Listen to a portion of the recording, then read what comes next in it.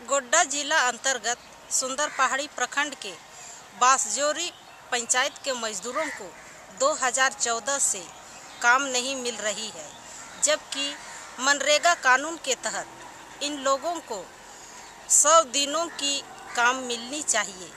विभागीय लापरवाही के कारण जल छाजन द्वारा मनरेगा योजना के तहत 100 बाय 100 का पोखर को जेसीपी द्वारा चार गाँवों में खुदाई की जा रही है जबकि नारेगा कानून के विरुद्ध है। मैं मेरी निशा हंसदा ये मेरा आदिवासी संताल समुदाय। चेकना लेबर कार्ड जो कार्ड हाँ,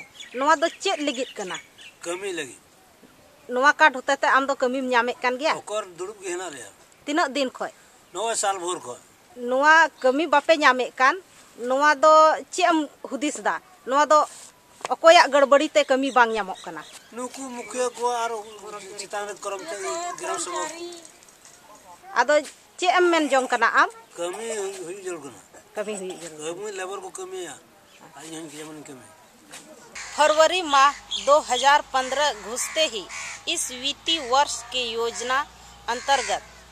पोखर निर्माण कार्य में तेज़ी लाया गया है।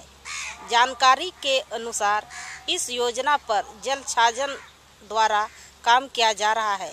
10 फरवरी से 24 घंटे दिन और रात जेसीपी और ट्रैक्टर से काम लिया जा रहा है। वहाँ पर आप लोग क्या करने गए थे? काम करने गए थे वो पोखर का। तब अभी क्यों लौट रहे हैं? बोला कि मेरा गाड़ी आ रहा है।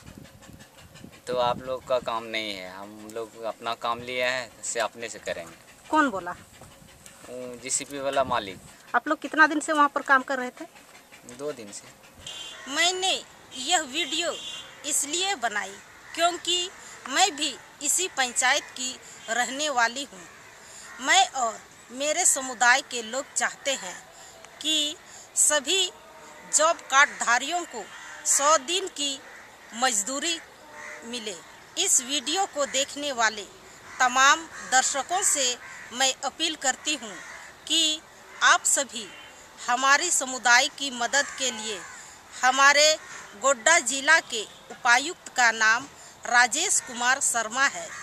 उनका mobile number nine four three one one three four five nine seven पर फ़ोन कर हमारी सहयोग करें।